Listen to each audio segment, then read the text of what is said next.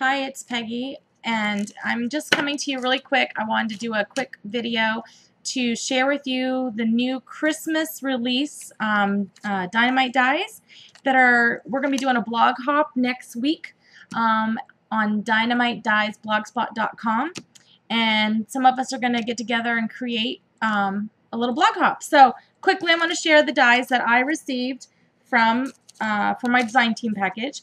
So the first one is called Bitty Bow. Look at that. Isn't that cute? It's called Bitty Bow. It's just a little tiny thing. It's so cute. So I'm gonna I'm gonna take each one out so you can see it in person. And I didn't have the die cuts cut out yet. Normally I would have had them cut out, but I don't have them cut out yet. It's a thin wafer die. Beautiful. And when it cuts out, it's gonna look like this. So it's gonna be cute. All right, so that's that one.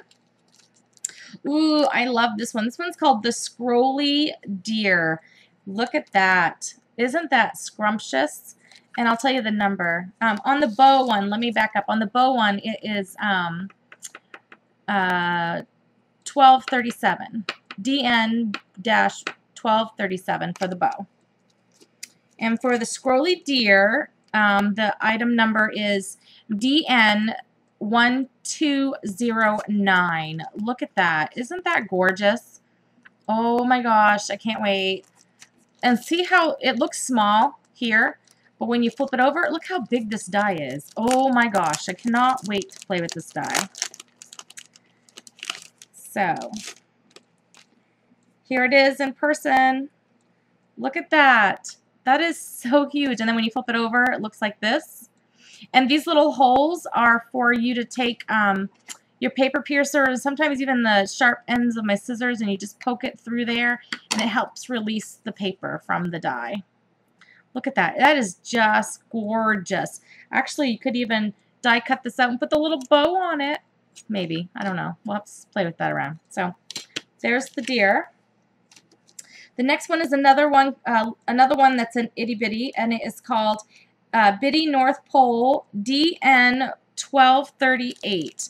And it's a little North Pole sign. Look how cute is that? How adorable. So let's take it out of the package. Because sometimes, you know, you want to see the die in, out of the package because it's totally different. So there's the North Pole, and here it is.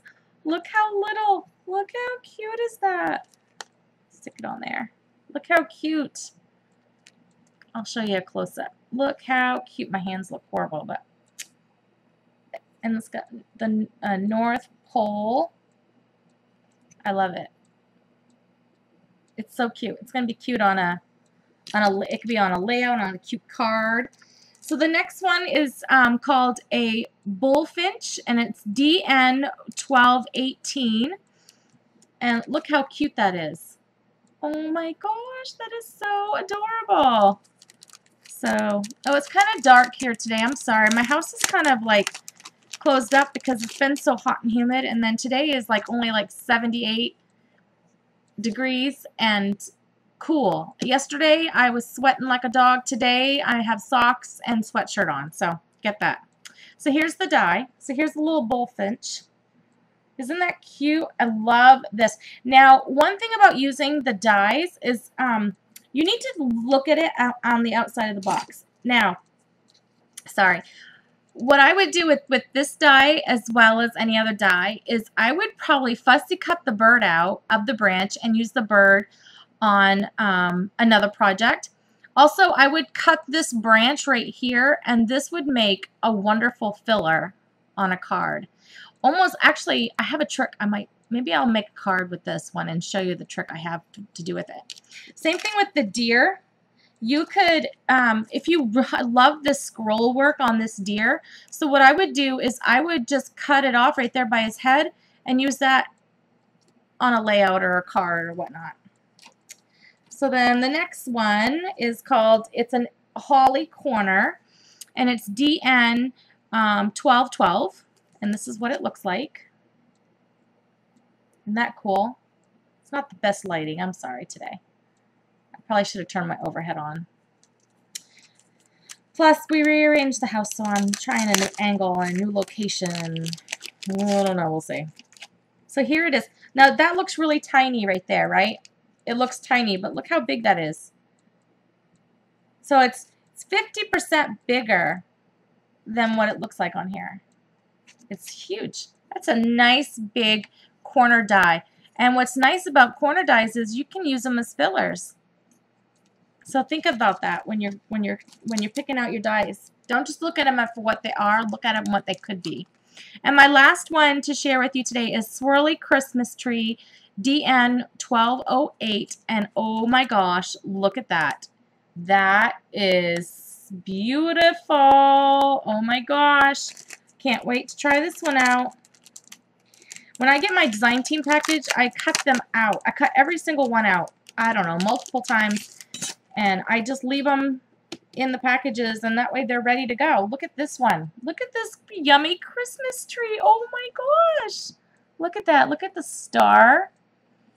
And look at the scroll work. So all this intricate is going to be cut out and it's going to be paper. It's going to be just the outline. It's adorable. Many places, all these little tiny things hanging down are, you could put liquid pearls on them. You could put um, distressed glitter or any kind of glitter gel on top of those. How beautiful.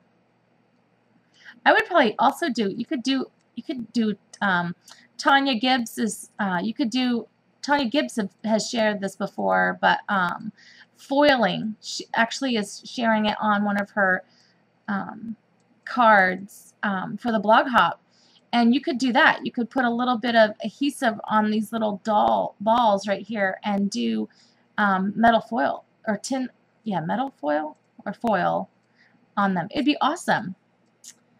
So that was a little, that's my dynamite dies. Beautiful, beautiful. I love this one.